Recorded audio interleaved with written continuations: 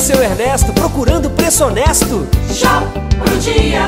Olá, dona Nininha, tá faltando uma coisinha. Shop pro dia. Olha aí, seu Renato, quer comprar bem mais barato? Shop pro dia. Tá do lado de casa, tá assim de ofertas. O supermercado da economia. Shop pro dia. O supermercado da economia.